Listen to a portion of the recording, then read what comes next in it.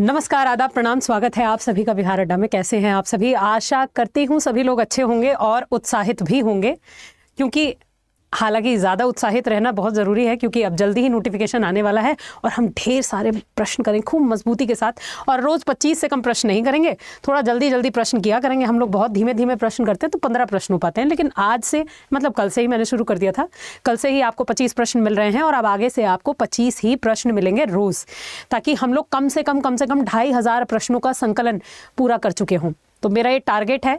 आज आपकी नौ से ग्यारह मैराथन भी है तो भूलना नहीं है किसी भी बच्चे को।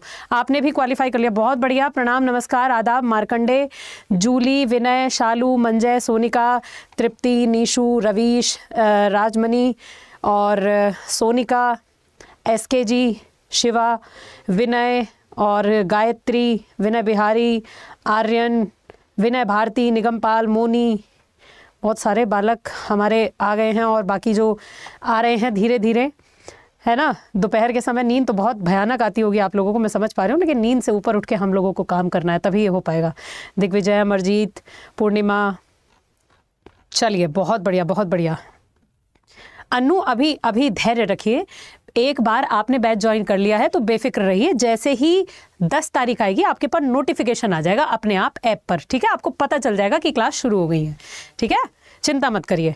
बस दस तारीख का इंतज़ार करिए, दस तारीख तक हो जाएगा। हाँ ऐप डाउनलोड करना होगा, बिल्कुल करना होगा।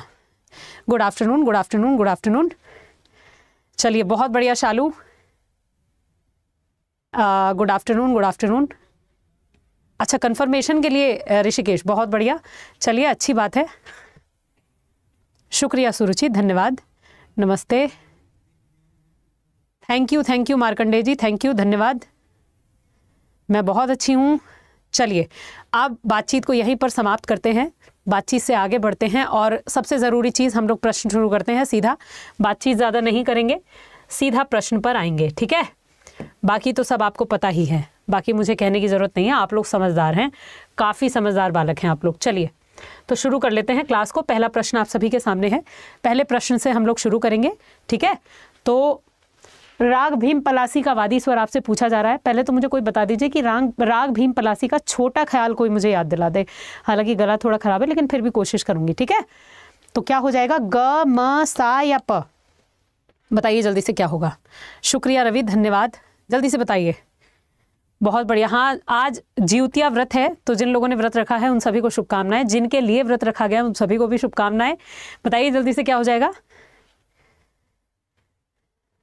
सुभाष इसे किस पैक में कन्वर्ट करूँ? कन्वर्ट करने के बजाय आप तैयारी करिए। निश्चिंत रहिए आगे फिर वैकेंसीज आने वाली है, है ना? तो आप तैयारी करिए। चलिए बताइए जल्दी से क्या होगा। जल्दी से बताइए क्या हो जाएगा? हाँ बिल्कुल। जा जा रे अपने। मंदिर वा, जा जा रे अपने। मंदिर वा, सुन पावे बुरी सास ननदिया। सुन पावे बुरी सास ननदिया जा रे अपने। मंदिर जा जा रे अपने। मंदिर वा बिल्कुल, एकदम सही याद दिलाया। बताइए जल्दी से क्या होगा? फटाफट से। क्या हो जाएगा? बी बहुत बढ़िया।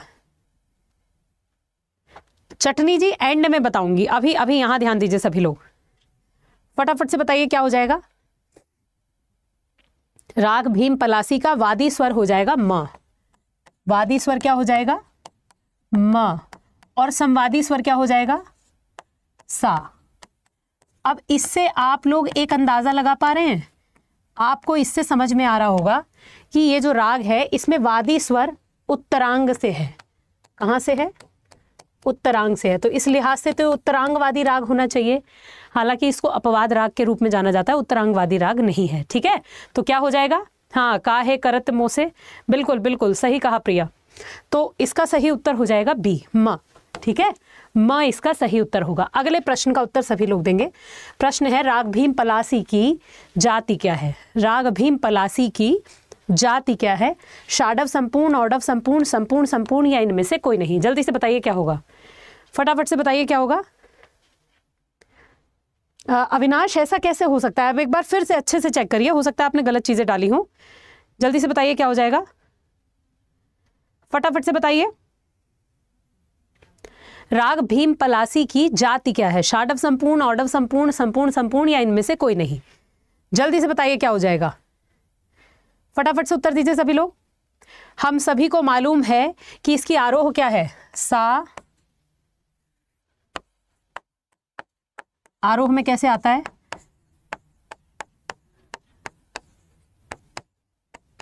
हम्म, नीसा ठीक है? इसमें रे और धा वर्जित होते हैं आरोह में और अवरोह में सारे स्वर होते हैं। इसका मतलब क्या हो जाएगा? इसका मतलब कि इसकी आरोह में पाँच स्वर लग रहे हैं। अवरोह में सात स्वर लगते हैं। तो जाति क्या हो जाएगी?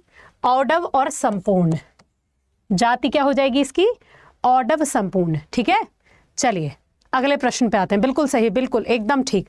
अगला प्रश्न बताइए, क्या होगा? राग भीम पलासी का गायन समय क्या है? राग भीम पलासी का गायन सम बिल्कुल। हम्म, नैनो में बदरा छाए बिजुरी सी चमके हाय ऐसे में बलम मोहे गरवा लगा ले। फटाफट से बताइए क्या हो जाएगा? राग भीम पलासी का गायन समय क्या हो जाएगा? फटाफट से सभी लोग उत्तर देंगे क्या होगा? राग भीम पलासी का गायन समय। क्या हो जाएगा?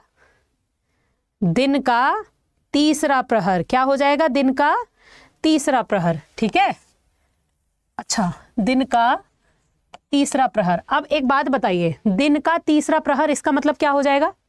हमें पता है, दिन के 12 बजे से रात्रि के 12 बजे तक पूर्वार्ध होता है दिन का।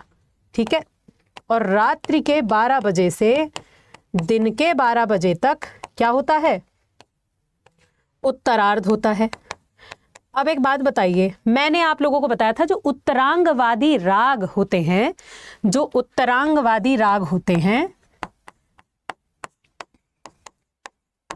वे सामान्य तौर पर क्या होता है? वो दिन के उत्तर अंग में गाए जाते हैं। किसमें? उत्तर अंग में गाए जाते हैं। ये मैंने आप लोगों को नियम बताया था। ठीक है? लेकिन अब जब आप इसे देखेंगे, राग भीम पलासी को देखेंगे तो आप एक चीज़ ध्यान रखिए कि हमने बताया कि राग भीम पलासी का वादी स्वर, म। वादी स्वर क्या है? म। और म क्या है? उत्तरांग है। अब देखिए, यहाँ दिन के दिन के बारह से रात के बारह के बीच में गाया जा रहा है, क्योंकि दिन का तीसरा पहर है। तो ये क्या हो गए? तो पूर्वार्ध हो गया दिन का। अब दिन का पूर्वार्ध तो गायन समय के हिसाब से, और अगर वादी स्वर के हिसाब से देखो तो ये उत्तरांग वादी है तो ये तो मैच नहीं कर रहा आपस में। इसका मतलब ये क्या है? ये अपवाद राग है, राग भीम पलासी। कैसा राग है? अपवाद राग है। इस पे नियम लागू नहीं हो रहे हैं दोनों, ठीक है? तो ये क्या हो जाएगा? ये आपका अपवाद राग हो जाएगा, ठीक है? चलिए, अगला। राग भीम पलासी किस थाट से संबंधित है? जल्दी से बताइए क्या होगा? सविता, सारे कंफ्यूजन बच्चे सबके सबके सवाल सुनूँगी, लेकिन पहले पढ़ना है, ठीक है? पहले हम लोग अच्छे से प्रश्न करेंगे, उसके बाद एंड में आप लोगों के सबके सवाल लूँगी, ठीक है? चलिए, बताइए जल्दी से क्या हो जाएगा। फटाफट से उत्तर दीजिए, राग भीम पलासी का थाट, काफ़ी खमाज तोड़ी मारवा, इनमें से कोई नहीं, क्या होगा? जल्दी से बताइए। कौन सा थाट हो जाएगा? राग भीम पलासी किस थाट से संबंधित है? बताइए जल्दी से क्या हो जाएगा? क्या होगा? काफ़ी या खमाज? बहुत बढ़िया। मैं देख रही हूँ, आप लोग उत्तर तो दे रहे हैं फटाफट से। वाह।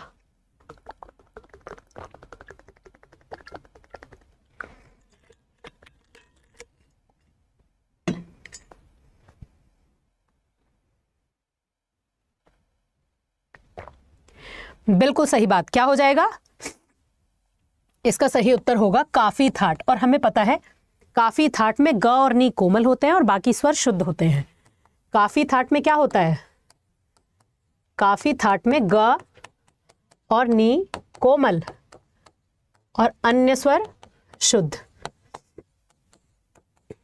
अन्य स्वर शुद्ध। अच्छा भीम पलासी के बारे में एक बात और बताती हूँ। बहुत सारे लोग भीम पलासी में क्या करते हैं? शुद्ध नि का अल्प प्रयोग करते हैं, बिल्कुल। लेकिन हर कोई नहीं करता। ये हर कोई कर भी नहीं पाएगा, ठीक है? तो क्या हो जाएगा? अन्य स्वर शुद्ध और गनी कोमल काफ़ी थाट जैसे कि हम्म, सारे ग म प ध नि सा। अब जैसे कि इसमें आपको काफ़ी राग काफ़ी याद होगा। छाड़ो छाड़ो छैला मोरी बैया दुखत मोरी नरम कलाई। ही कैसे तुम कैसे तुम निडर लाल मगरो कत पराई छाड़ो छाड़ो, छेला, मोहरी बैया ठीक है ना? तो क्या हो जाएगा? काफ़ी थाट। अगला प्रश्न। राग भीम पलासी में अगर शुद्ध नी का प्रयोग किया जाए तो किस राग की छाया आ जाती है?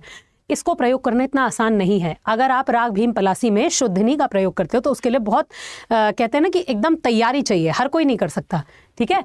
तो शुद्धनी का प्रयोग किया जाए तो राग मारवा की छाया आएगी राग भैरवी की झंझोटी की पटदीप की या इनमें से किसी की नहीं। क्या हो जाएगा? सही उत्तर जल्दी से बताइए। फटाफट से बताइए क्या हो जाएगा? कोई भी बालक बिल्कुल बेफिक्र रहें एक बात ध्यान रखें सभी लोग कि राग से प्रश्न आए, ताल से प्रश्न आए, इतने प्रश्न कर लेंगे हम लोग कि हमें जबान पे आ जाएँगी एक एक चीज़ें बेफिक्र रहिए। ठीक है? हाँ बिल्कुल बिल्कुल। बताइए जल्दी से क्या होगा? कौन सा राग, किस राग की छाया आएगी? Good evening good evening good evening Pushpanjali. बताइए जल्दी से क्या होगा? बिल्कुल बिल्कुल। क्या हो जाएगा? इसका सही उत्तर हो जाएगा पटदीप। राग पटदीप की छाया आ जाती है। अगर आप किसकी जगह, कोमल नी की जगह शुद्ध नी का प्रयोग कर दो, ठीक है? देखिए, बहुत आसान है। राग पटदीप में क्या होता है? राग भीम पलासी में तो कोमल नी लगता है, लेकिन राग पटदीप में क्या होता है? राग पटदीप में शुद्ध नी लगता है। और अगर आप, ये क्या है? उत्तरांगवादी राग है। क्या है ये? उत्तरांगवादी राग है। लेकिन अगर इसे उत्तरांग प्रधान कर दिया जाए मतलब कि पटदीप को, अगर अगर हम भीम पलासी को उत्तरांगवादी बना दें और शुद्धनी का प्रयोग कर लें। तो क्या बन जाएगा? तो पटदीप बन जाएगा, राग पटदीप बन जाएगा। ठीक है? राग पटदीप बन जाएगा, ये है। ठीक है? हाँ बिल्कुल बिल्कुल बिल्कुल। चलिए, अगला प्रश्न। राग भीम पलासी का संप्रकृति राग क्या है? राग भीम पलासी जैसा ही दूसरा राग। पटदीप है, बागेश्वरी है, जोगिया है, झिंझोटी है या इनमें से कोई नहीं। बताओ जल्दी से क्या होगा। फटाफट से उत्तर दो सभी लोग। जल्दी जल्दी से बताइए क्या हो जाएगा। राग भीम पलासी का संप्रकृति राग क्या होगा। फटाफट से उत्तर दीजिए। जल्दी से बताइए सभी लोग क्या हो जाएगा। राग भीम पलासी का संप्रकृति राग क्या होगा। B, Bageshwari. Very good Jhinjhoti. Good evening Gaurav जल्दी से सभी लोग उत्तर दीजिए। एक तो मैं बार बार आप लोगों से कहती हूँ, भैया, मुझे मैडम मत बुलाया करिए। मेरे प्यारे भाइयों और बहनों, बड़े हों या छोटे हों सभी लोग, कृपया मुझे दीदी ही बुलाएँ। मुझे बिल्कुल पसंद नहीं है कि कोई मुझे मैडम बुलाए। बहुत अपनापन महसूस होता है जब कोई दीदी बुलाता है तो है ना? चलिए, बताइए जल्दी से क्या होगा? बागेश्वरी होगा। बिल्कुल ठीक। क्या हो जाएगा? सही उत्तर, बागेश्वरी। अच्छा बागेश्वरी की कोई मुझे छोटा ख्याल की बंदिश याद दिलाएगा? कोई भी बालक। जल्दी से बताइए क्या हो जाएगा? फटाफट से। कोई याद दिला दे कि राग बागेश्वरी की छोटा ख्याल की बंदिश क्या होगी? राग भीम पलासी के न्यास के स्वर क्या होंगे? सा, ग, म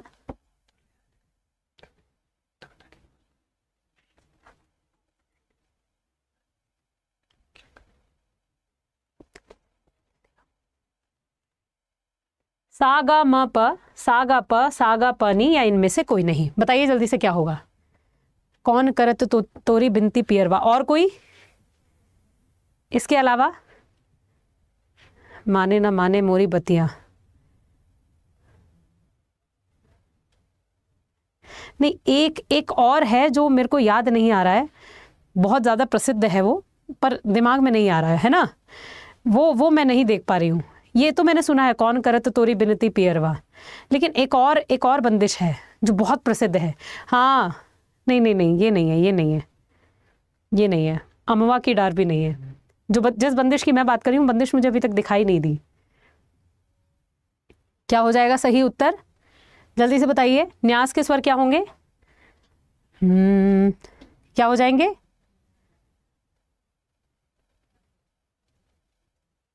जल्दी से बताइए क्या होगा? नहीं नहीं नहीं मुझे वो दिख ही नहीं रहा है। आम, नहीं नहीं नहीं नहीं नहीं नहीं दिख रहा है। चलिए नज़र आएगा तो मैं ज़रूर बताऊँगी। क्या हो जाएगा? राग भीम पलासी के न्यास के स्वर। न्यास के स्वर हो जाएँगे सा ग ग होगा कोमल वाला ग, ठीक है? माँ और प। ये हो जाएगा सही उत्तर बी, क्योंकि इसमें ग और नहीं कोमल लगते हैं, ठीक है? चलिए। ना ना ना, वो भी नहीं है। विलंबित तीन ताल का अन्य नाम क्या है? विलंबित तीन ताल को और किस नाम से जाना जाता है? आड़ा चार ताल चार ताल, सूल ताल तिड़वाला तिलवाड़ा ताल या फिर इनमें से कोई नहीं। बताइए जल्दी से क्या हो जाएगा? फटाफट से बताइए क्या हो जाएगा? नहीं, ये भी नहीं है, ये भी नहीं है। नहीं नहीं नहीं। कोई बात नहीं। जल्दी से बताइए क्या होगा। नहीं, ये भी नहीं है। जल्दी से बताइए क्या हो जाएगा। डी, तिलवाड़ा। और कोई? विलंबित तीन ताल। किस नाम से जानी जाती है? जल्दी से बताइए क्या हो जाएगा? विलंबित तीन ताल को जाना जाता है तिलवाड़ा ताल के नाम से, ठीक है? किसके नाम से? तिलवाड़ा ताल के नाम से। कितनी मात्राएँ होती हैं इसमें? अगला प्रश्न इसी पर बनाया तो बताऊँगी नहीं अभी। तिलवाड़ा ताल में कितनी मात्राएँ होती हैं? चौदह, पंद्रह, सोलह, अठारह। बताइए जल्दी से क्या हो जाएगा? फटाफट से बताइए। तिलवाड़ा ताल में कितनी मात्राएँ होती हैं? चौदह, पंद्रह, सोलह, अठारह। फटाफट से बताइए क्या होगा उत्तर? जल्दी से बताइए क्या हो जाएगा? फटाफट से बताइए क्या हो जाएगा? जल्दी से उत्तर दीजिए क्या हो जाएगा? तिलवाड़ा ताल में कितनी मात्रा है?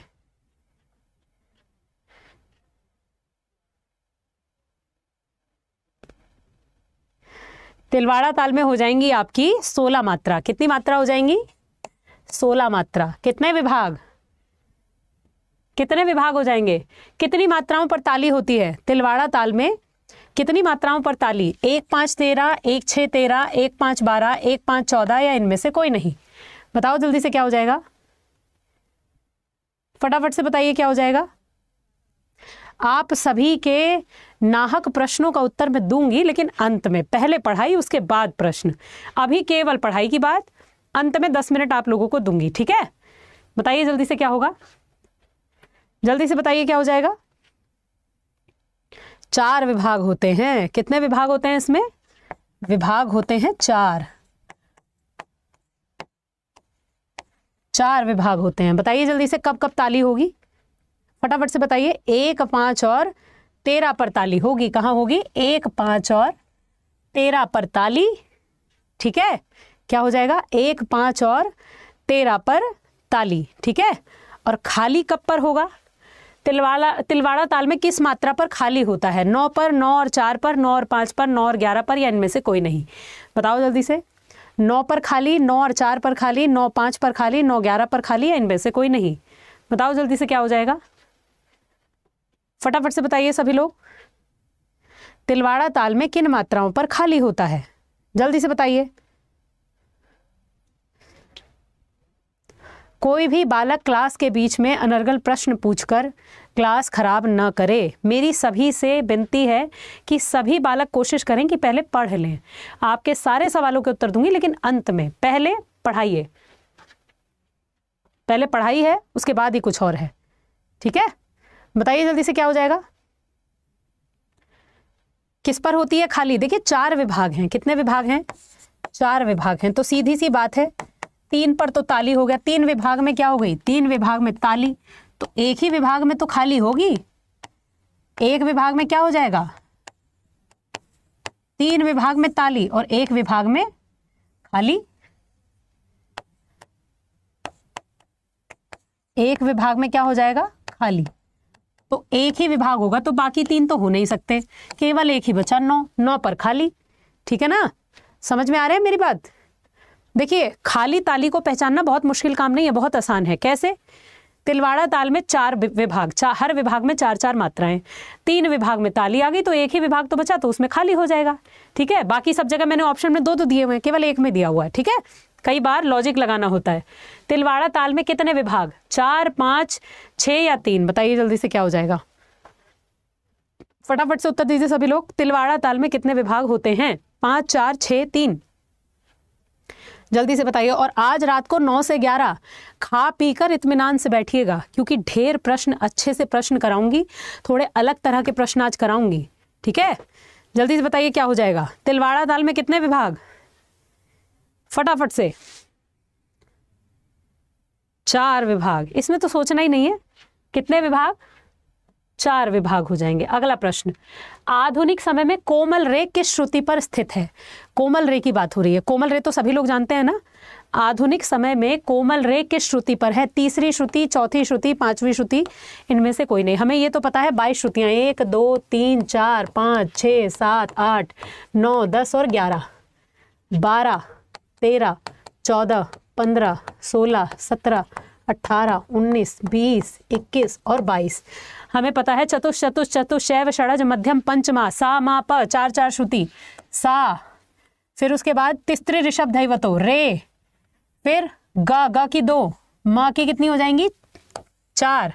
फिर उसके बाद प की भी चार, फिर ध की तीसरी तीन और नी की दो। ऐसे करके श्रुतियाँ हैं। हमें पता है, आज के समय में, आधुनिक समय में क्या होता है? पहली श्रुति पर होता है स्वर। यानी कि सा होगा यहाँ, रे होगा यहाँ, ग होगा यहाँ, म होगा यहाँ, प होगा यहाँ, ध होगा अट्ठारह पर। और नी होगा इक्कीस पर। ये तो सभी को पता है। अब पूछा है, कोमल रे कहाँ होता है? तो कोमल रे, देखिए, रे है पांचवी पर और सा है पहली पर। इसी के बीच में कहीं होगा। तो बिल्कुल बीच में क्या बैठ रहा है? बताइए जल्दी से क्या हो जाएगा। पांचवी पर तो शुद्ध रे हो गया ना? तो कोमल रे तो उससे पहले ही होगा। उससे छोटा स्वर और सा से बड़ा है। तो इसका मतलब क्या हो जाएगा? सही उत्तर। सही उत्तर हो जाएगा आपका, तीसरी श्रुति पर होता है कोमल रे। कहाँ होता है? तीसरी श्रुति पर होता है कोमल रे। तो सही उत्तर हो जाएगा ए ठीक है? तीसरी श्रुति पर होता है, ध्यान रखना। यहाँ पांचवी श्रुति पर हो रहा है आपका शुद्ध रे। तीसरी श्रुति पर होगा कोमल। सा और रे के बीच में होगा। ठीक है? तो तीसरी पर माना जाता है। चलिए, आगे चलते हैं। आधुनिक तीव्र म किस श्रुति पर अवस्थित है? हमें म तो पता है। म कौन सी श्रुति पर है? म देखिए, यहाँ है। ये रहा म। दसवीं श्रुति पर। शुद्ध माँ कौन सी श्रुति पर? दसवीं पर। अगर मैं शुद्ध माँ की बात करूँ तो कौन सी श्रुति पर है? दसवीं श्रुति। तो तीव्रमा कब होगा? भाई तीव्रमा तो इससे आगे ही होगा ना? दस से आगे ही होगा, ठीक है? कैसे पता करेंगे? शिवाजी, मैंने बहुत सारी चीज़ें पहले कराई हुई हैं क्लास में। आप पुरानी क्लास देखेंगे तो आपकी काफ़ी सारी चीज़ें क्लियर होंगी, ठीक है? बस यही है कि आप लोग पढ़ने पर ध्यान नहीं देते थोड़ा ध्यान देंगे तो बहुत जल्दी से हो जाएँगी सारी चीज़ें, ठीक है? बताइए जल्दी से क्या होगा? आधुनिक तीव्र म किस श्रुति पर है? बारहवीं पर तो नहीं हो सकता। तेरहवीं पर चौ, दसवीं पर तो नहीं हो सकता सॉरी क्योंकि दसवीं पर तो शुद्ध माँ है। इस पर क्या है? शुद्ध माँ है। तो या तो बारहवीं पर होगा या तेरहवीं पर होगा, कौन सी पर होगा? देखो, माँ के बाद आता है प। प की है चार श्रुतियाँ, ठीक है? तो अब देखो, दस पर क्या है? दस पर है म। फिर ग्यारह, बारह, तेरह। फिर आएगा चौदह, फिर पंद्रह, फिर सोलह, फिर सत्रह। अब ध्यान दो जरा। पुराने पर ध्यान दो। यहाँ देखो। प किस पर है? चौदह पर है। यानी कि दस से चौदह के बीच में ग्यारह, बारह, तेरह आ रहा है। तो सीधी सी बात है, कहाँ होना चाहिए? मुझे बताने की भी ज़रूरत नहीं है। कहाँ होगा? बताइए जल्दी से। कहाँ होगा? बारहवीं पर होगा, है ना? कहाँ होगा? बारहवीं पर। क्योंकि फिर चौदह पर क्या है? प है। और दस पर क्या है? म है। तो इसके बीच में ग्यारह, बारह और तेरह पड़ी। एक श्रुति इधर छोड़ो, एक इधर। बीच में ही तो आया म। ठीक है? समझ रहे हैं? तो बारहवीं पर हो जाएगा। चलिए। बहुत बढ़िया रविशंकर जी, आपका स्वागत है। जल्दी से बताइए क्या हो जाएगा। नहीं श्वेता, अगर आप क्लासेस रेगुलर करते हैं तो बुक लेने की ज़रूरत नहीं है आपको, ठीक है? सप्तक के कितने प्रकार? दो, तीन, चार, पाँच, नौ। कितने प्रकार होते हैं सप्तक के? बताइए जल्दी से सभी लोग। सप्तक के कितने प्रकार? फटाफट से उत्तर दीजिए सभी लोग।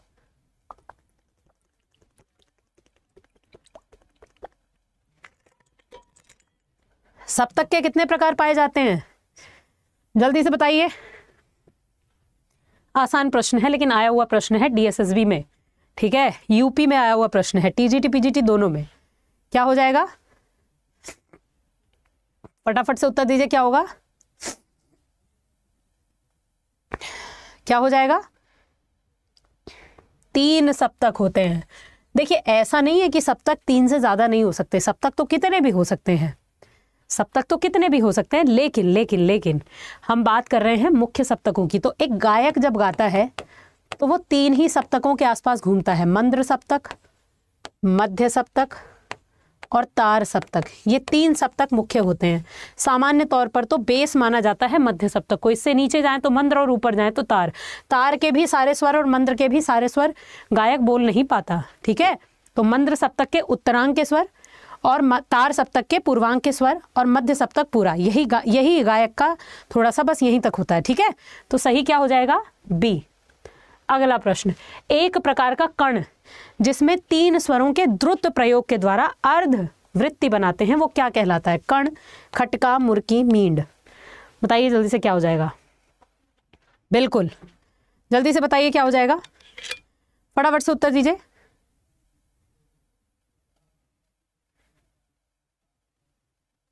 हाँ बिल्कुल शुभम, वही क्लास रहेगी, बेफिक्र रहो, ठीक है? क्लास में कोई परिवर्तन नहीं आएगा, आपने ज्वाइन कर लिए तो अब मेरे ऊपर छोड़ दो, ठीक है? गलती से अगर ज्वाइन हो भी गया तो कोई दिक्कत नहीं है। वो मेरे ऊपर छोड़ दो। मैं हूँ ना तो बस इतना काफ़ी है।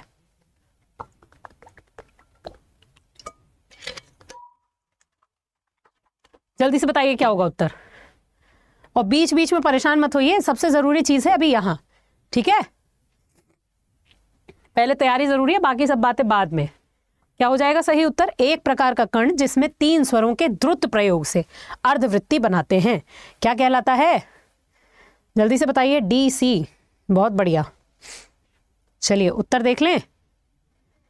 क्या हो जाएगा सही उत्तर? सही उत्तर हो जाएगा मुर्की। क्या हो जाएगा सही उत्तर? मुर्की।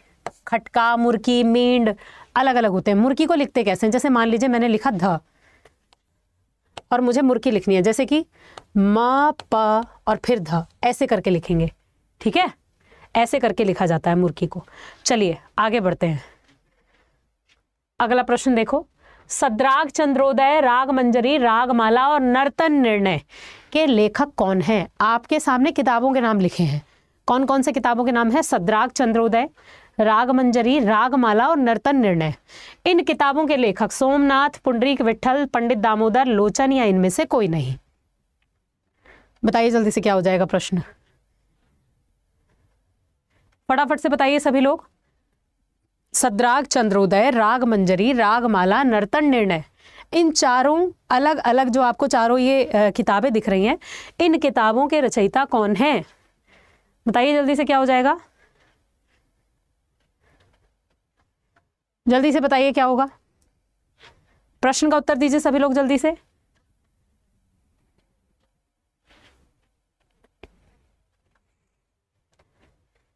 फटाफट से बताइए क्या होगा? बी। अधिकतर का उत्तर बी ही है। क्या होगा सही उत्तर? पुंडरीक विठल किसने लिखी है ये किताबें? पुंडरीक विठल ने किताबें लिखी हैं, ठीक है? याद रखना है सभी को। किसने लिखी है किताबें? पुंडरीक विठल ने, ठीक है?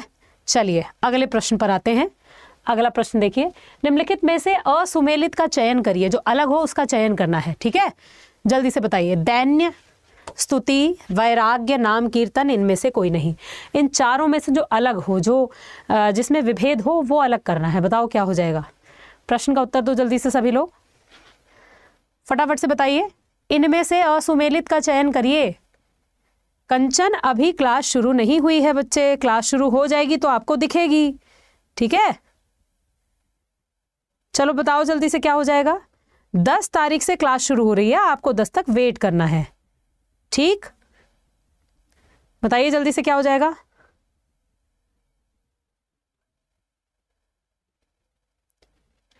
जल्दी से बताइए सभी लोग क्या होगा?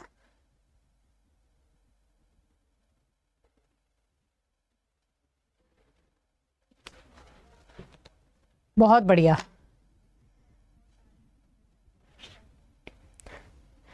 क्या हो जाएगा उत्तर? दैन्य स्तुति, वैराग्य और नाम कीर्तन। क्या होगा सही उत्तर? देखो, इसमें कुछ चीज़ें और हैं, जैसे कि लीला। चेतावनी। लीला, चेतावनी, वैराग्य, स्तुति, है ना? विनय, वेदांत, क्या है? विनय, वेदांत। और क्या हो गया आपका? दैन्य। है ना? ये सारे क्या हो जाएँगे? हाँ ऋषिकेश, सारी चीज़ें स्टार्ट होंगी, बेफिक्र रहिए, है ना? चलिए, इसके अलावा विनय वेदांत, चेतावनी, लीला, नाम कीर्तन, वैराग्य, स्तुति दैन ये जितने भी आप देख रहे हैं, ये गेय रचनाएँ हैं। क्या हैं ये सभी? गेय रचनाएँ हैं। ये किसकी रचनाएँ हैं? ये तुलसीदास जी की रचनाएँ हैं। किसकी रचनाएँ हैं ये सभी? तुलसी दास द्वारा रचित रचनाएँ हैं और ये सारी रचनाएँ गेय हैं मतलब स्वरबद्ध हैं। कैसी रचनाएँ हैं ये? स्वरबद्ध रचनाएँ हैं। जो गेय होती हैं उन्हें स्वरबद्ध कहा जाता है। ठीक है? मतलब जिनके साथ स्वर दिए गए हों जिन्हें गाया जा सकता है। ठीक है? ये हो जाएगा। आ, राग परिचय के लिए। डू समथिंग जी अगर आप राग परिचय पढ़ना चाहते हैं तो बिल्कुल परचेज करनी पड़ेगी चारों भाग। अगर ऐसा लग रहा है कि राग परिचय क्यों खरीदना तो देखिए राग परिचय तो मैं संपूर्ण कराऊँगी ही। तो आपको अलग से खरीदने की क्या ही ज़रूरत है? जो बच्चे बैच ज्वाइन कर चुके हैं, वो कोई किताब ना खरीदें। जितना मैं कराऊँगी, केवल उतने पर ध्यान दें, ठीक है? उतना ही काफ़ी है। आपको अलग से कुछ भी पढ़ने, मैं खुद पढ़ने के लिए आपको इतना दे दूँगी कि आपसे वही नहीं होगा, ठीक है? तो आपको अलग से कोई भी चीज़ खरीदने की ज़रूरत नहीं है। चलिए, क्या हो जाएगा सही? गेय का मतलब होता है गाने योग्य। क्या हो जाएगा? गाने योग्य। चलिए तो दैन्य स्तुति, वैराग्य नाम कीर्तन लीला, चेतावनी, विनय वेदांत। ये सारी की सारी गाने योग्य रचनाएँ हैं, स्वरबद्ध रचनाएँ हैं, ठीक है? तो क्या हो जाएगा? ये सारी की सारी आपकी तुलसीदास जी की रचनाएँ हैं तो इसका सही उत्तर हो जाएगा, इनमें से कोई नहीं। असुमेलित कोई है ही नहीं, सारी रचनाएँ एक ही इंसान की हैं, ठीक है? चलिए, अगला प्रश्न। संगीत पारिजात ग्रंथ का हिंदी में अनुवाद किसने किया? फिर से ध्यान से प्रश्न सुनिए। मैंने क्या कहा? संगीत पारिजात ग्रंथ का हिंदी में अनुवाद किसने किया? दीनानाथ, कालिंद राम प्रसाद सेन, इनमें से कोई नहीं, एक से अधिक। रविशंकर जी, आपने ध्यान से नहीं सुना। मैंने कहा, गेय का मतलब गाने योग्य, जिसको गाया जा सकता है। ठीक है? चलिए बताइए जल्दी से क्या होगा। संगीत पारिजात ग्रंथ का हिंदी में अनुवाद किसने किया? मुझे पता था आप सभी लोगों का उत्तर लगभग यही होगा। खैर, देखती हूँ कितने लोग उत्तर दे पाएँगे इसका। जल्दी से बताइए क्या हो जाएगा? संगीत पारिजात ग्रंथ का हिंदी में अनुवाद किसने किया? कालिंद, दीनानाथ राम प्रसाद सेन, एक से अधिक, इनमें से कोई नहीं। जल्दी से बताइए क्या होगा? बिल्कुल कर दूँगी, आप बेफिक्र रहिए फ़र्स्ट पेपर के लिए भी सेकंड पेपर के लिए भी, बच्चे बिल्कुल एंड तक वेट करिए। पहले ज़रूरी है ये पढ़ना। बैच की बात बाद में होगी, चिंता मत करो एंड में करूँगी, अभी नहीं। अभी पहले पढ़ने पे तो ध्यान दो। तुम लोग इतना काहे परेशान हो? सारी चीज़ों पर बात होगी, लेकिन पहले ज़रूरी बात। ये तो पढ़ लो जो है। ठीक है? जल्दी से बताइए क्या होगा?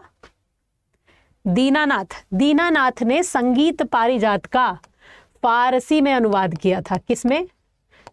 फारसी में अनुवाद किया। लेकिन हिंदी में संगीत पारिजात का अनुवाद किया कालिंद ने। किसने किया? कालिद ने। इन्होंने हिंदी में अनुवाद किया। तो ये बात आपको याद रखनी है। ये नई बात है। आप लोगों को शायद नहीं पता होगा। ठीक है? चलिए, सही उत्तर हो जाएगा इसका कालिंद। अगले प्रश्न पर आते हैं। मान कौतूहल का आंशिक अनुवाद किसने किया? मान कौतूहल का आंशिक अनुवाद किसने किया? कालिंद ने फ़कीरुल्ला ने, तुलाजी राव ने गुलाम रसूल ने या इनमें से कोई नहीं? बताइए जल्दी से क्या हो जाएगा। हाँ बिल्कुल सनरोज, सही कहा। तो तुम सब लोगों को क्या लग रहा है, सारी चीज़ें आसान होंगी? आसान कैसे होंगी? हाँ बिल्कुल, गौतम, क्लास तो मिलेगी काहे परेशान हो तुम जिस भी बच्चे ने क्लास ज्वाइन कर ली हो, परेशान ना हो। हम हैं तो काहे परेशान हो रहे हो? मैं हूँ तो परेशान होने के लिए। जल्दी से बताइए क्या हो जाएगा। फटाफट से उत्तर दीजिए, क्या हो जाएगा? मान कौतूहल का आंशिक अनुवाद किसने किया? कालिन फकीरुल्ला तुलाजी राव गुलाम रसूल, इनमें से कोई नहीं। क्या हो जाएगा सही उत्तर? फटाफट से उत्तर दो सभी लोग। उत्तर में थोड़ी स्पीड दिखाइए। क्या होगा उत्तर?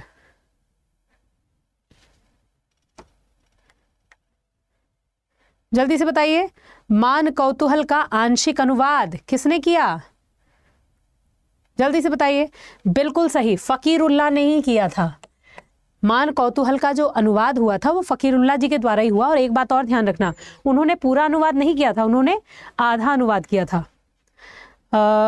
शादा भैया आ रहे थे, वो अभी तक आए नहीं।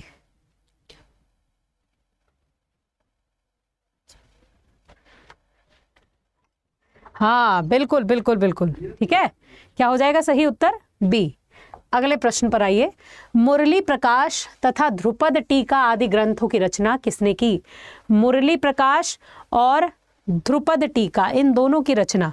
भाव भट्ट नरहरि चक्रवर्ती श्रीनिवास तुलाजी राव, इनमें से कोई नहीं। बताइए जल्दी से क्या होगा? रवि जी, ऐसा नहीं होगा? बताइए जल्दी से क्या होगा?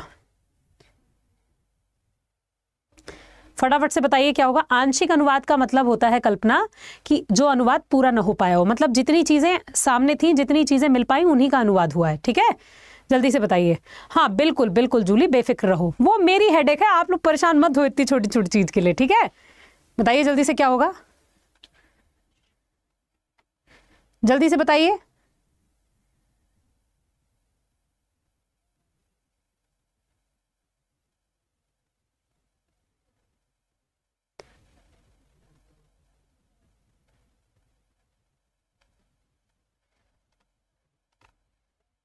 जल्दी से बताइए।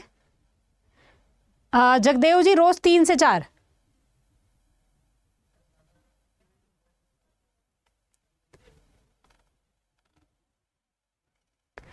फटाफट से उत्तर दीजिए क्या हो जाएगा?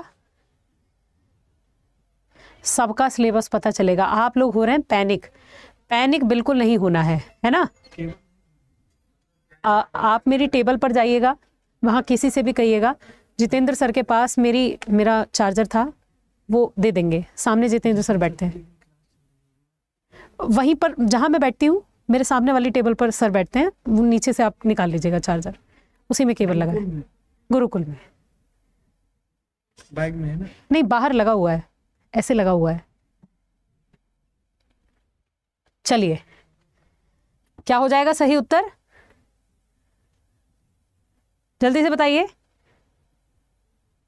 मुरली प्रकाश और ध्रुपद टीका। इसकी रचना किसने की? दोनों पुस्तकों की रचना किसने की? जल्दी से बताइए। बिल्कुल प्रिया, वो हो चुका है। बेफिक्र रहिए, वो हो चुका है। ठीक है? क्या हो जाएगा सही उत्तर इसका? फटाफट से उत्तर दीजिए। भाव भट्ट ने लिखी हैं। किसने लिखी हैं? भाव भट्ट ने। अनूप संगीत रत्नाकर, याद है? क्या है? अनूप संगीत रत्नाकर, अनूप संगीत विलास।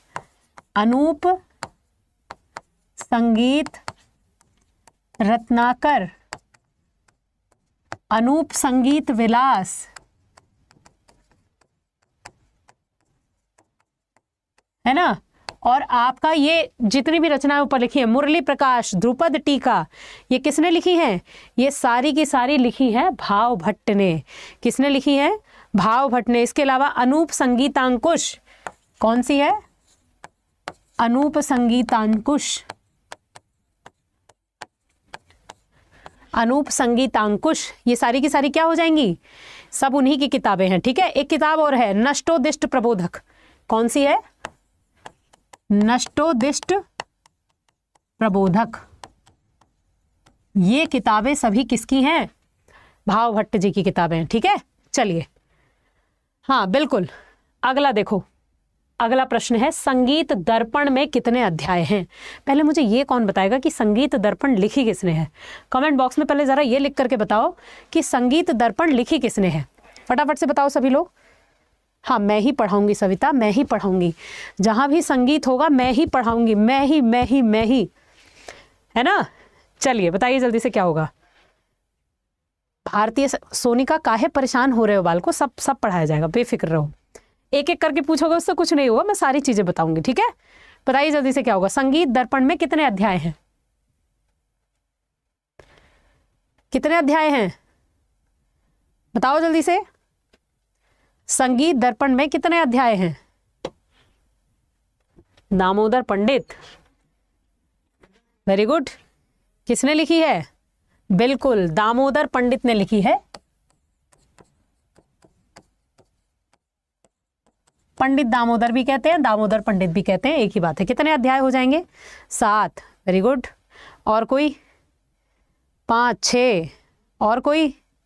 छ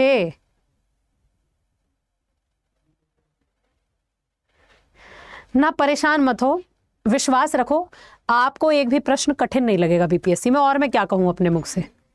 ठीक है? तो क्या हो जाएगा सही उत्तर? छह अध्याय है।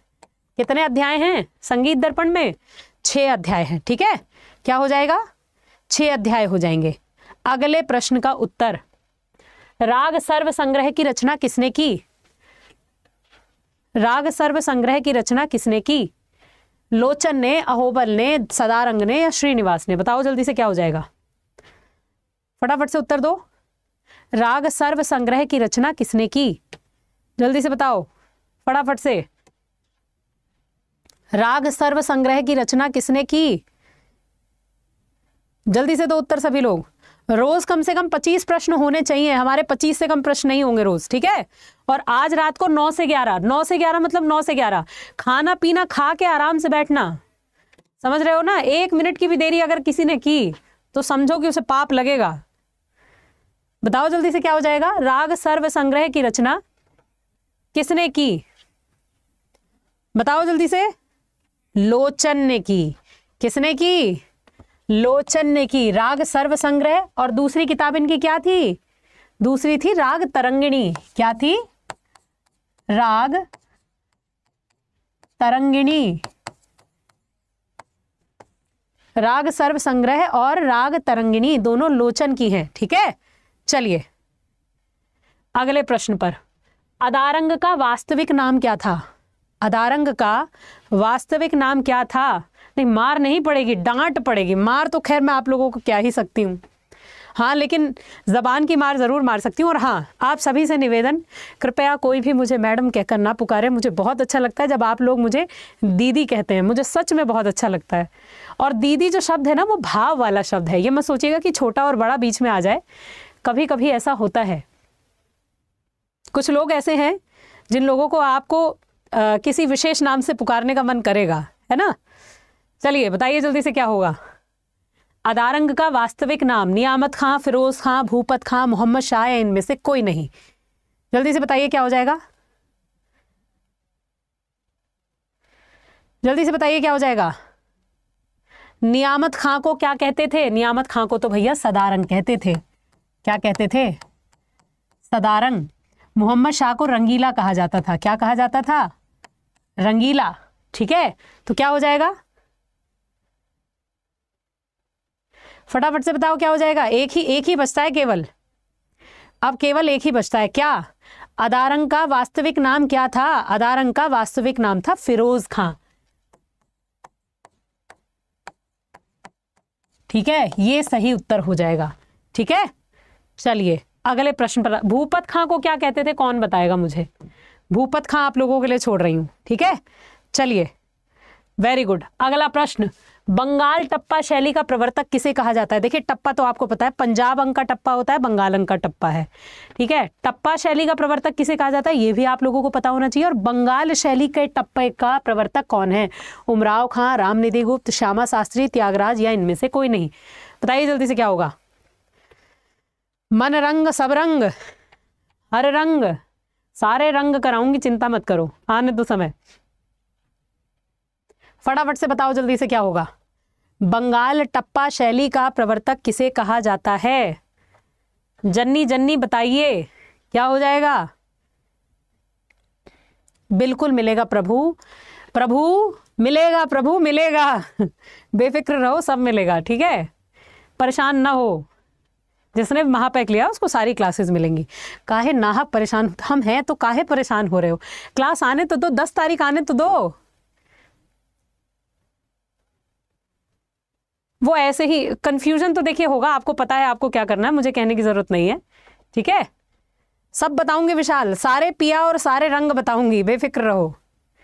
जल्दी जल्दी बताइए फटाफट से क्या होगा। अच्छा नौ बजे क्या है?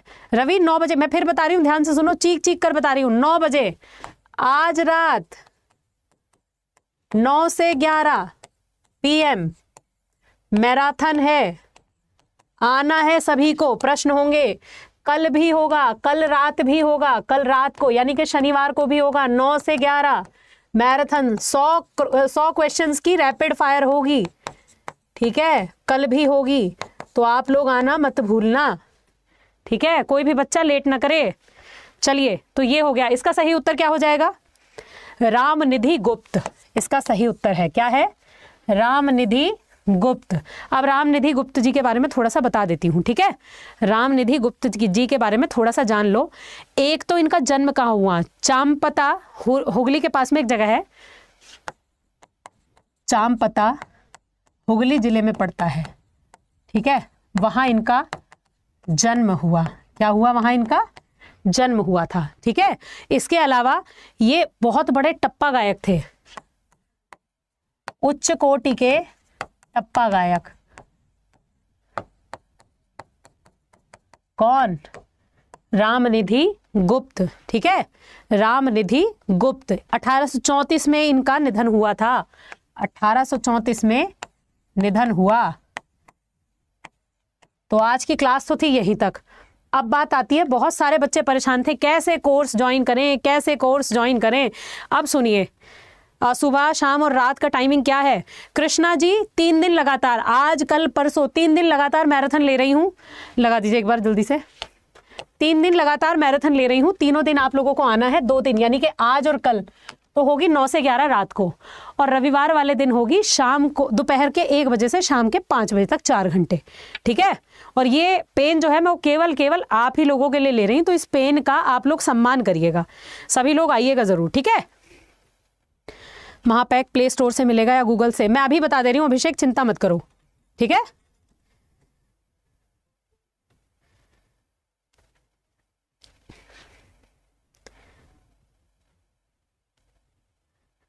जल्दी से बताइए फटाफट से क्या हो जाएगा?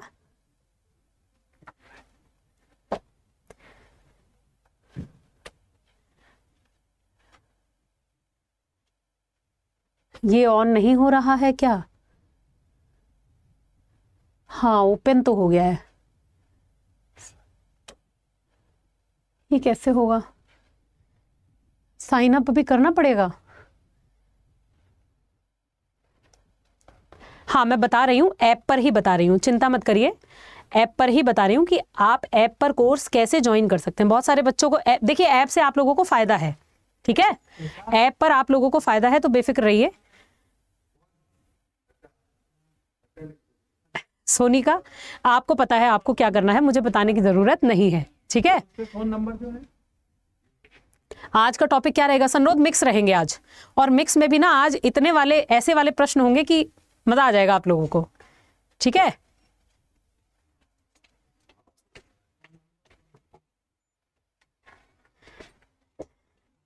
हाँ आ जाइए अब करना तो है ही। आ ही जाइए और क्या।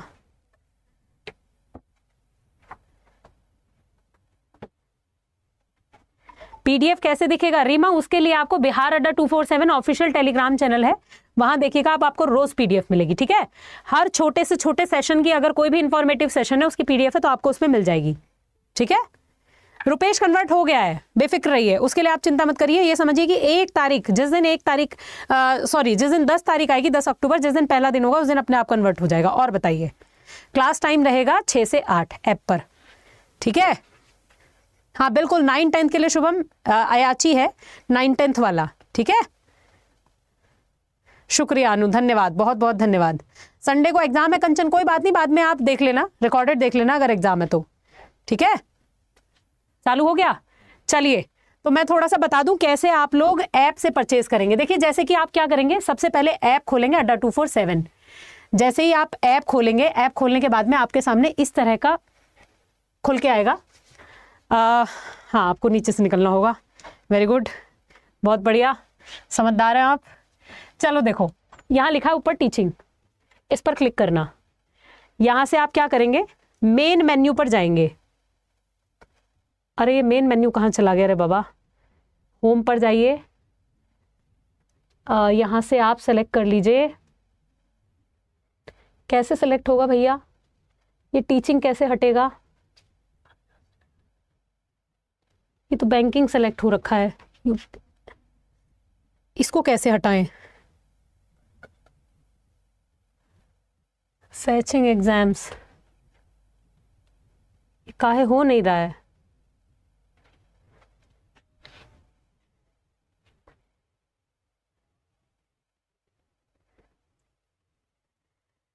मैं बता रही हूँ, बाल को बस थोड़ा सा धैर्य रखिए। वही बता रही हूँ कि कैसे आप लोग इसको ज्वाइन करेंगे। ये क्या कर रहा है? ये इतना धीमे क्यों चल रहा है? नेटवर्क नहीं है। अब कैसे हटेगा यहाँ से? बैंकिंग दिखा रहा है यूपीएससी दिखा रहा है। स्टेट एग्ज़ाम क्यों नहीं दिखा रहा है?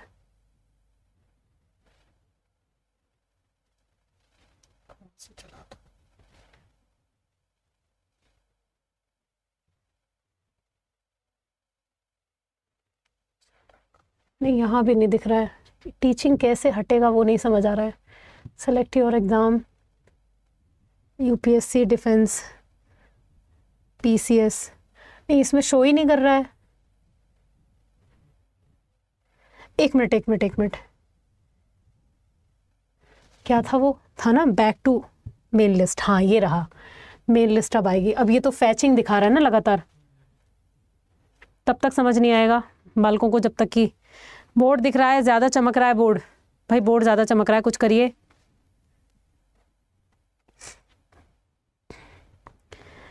आपका इंटरनेट तो चल नहीं रहा।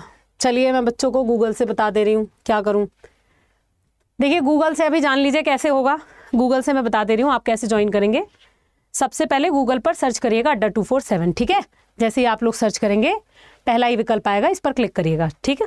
पहला ही विकल्प जैसे ही आएगा, उसके बाद में ऑल कोर्सेज पर जाइएगा। देखिए, ऊपर लिखा आएगा ऑल कोर्सेज यहाँ क्लिक करिएगा।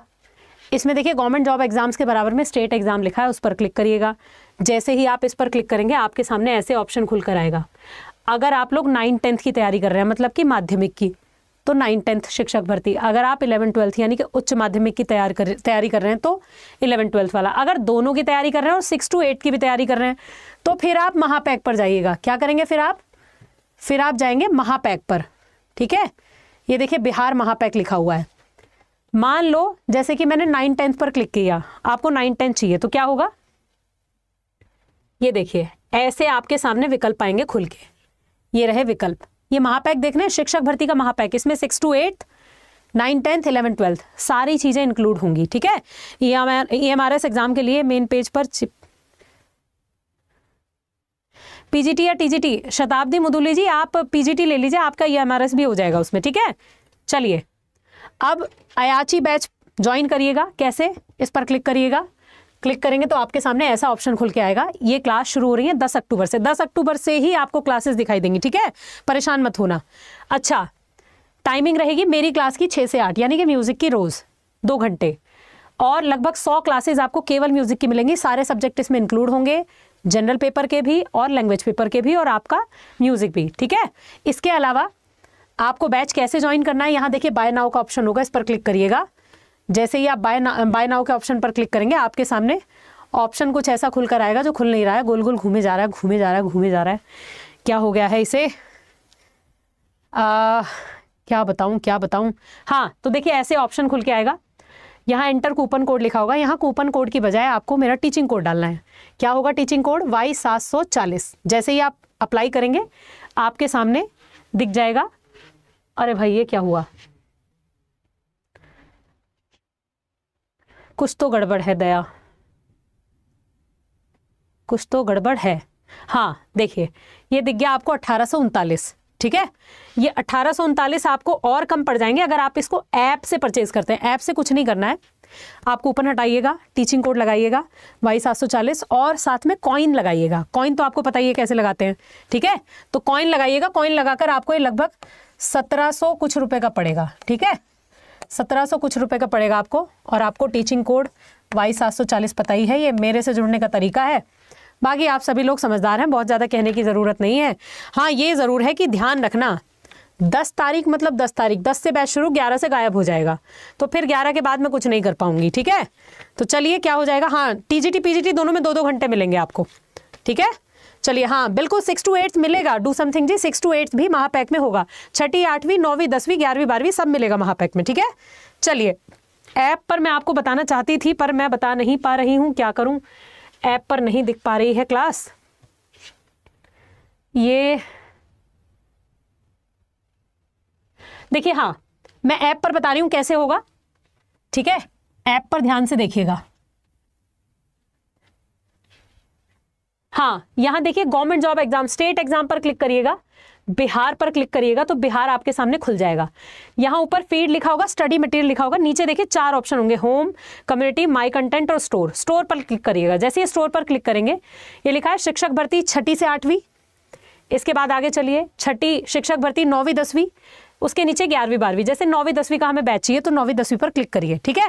जैसे ही आप इस पर क्लिक करेंगे, आपके सामने कुछ ऑप्शन ऐसा खुलेगा। देखिए, ऊपर ही अयाची म्यूज़िक दिया है नाइन टेंथ वाला। इस पर क्लिक करिए। यहाँ क्लिक करके जब आप जाएँगे तो देखिए लिखा होगा यूज़ कॉइन्स इस पर क्लिक करिए। फिर उसके बाद में कूपन कोड लगाए ना इसको रिमूव करिए। यहाँ ऑफर्स अवेलेबल पर क्लिक करिए।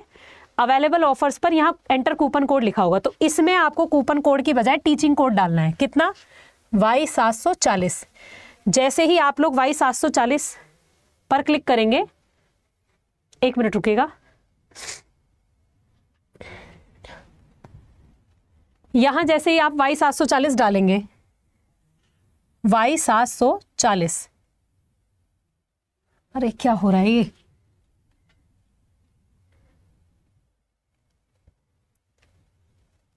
लग रहा है दोबारा लगाना पड़ेगा।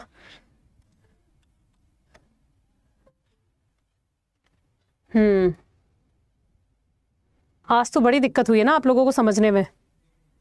नौ हज़ार आ रहा है, कम नहीं हो रहा है। रुको रुको रुको, बता रही हूँ, बता रही हूँ। ठीक है? बता रही हूँ कैसे करना है।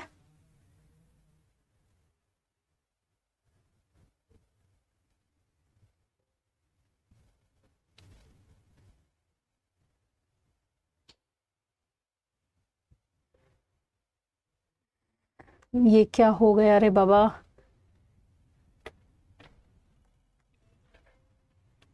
यही समस्या है।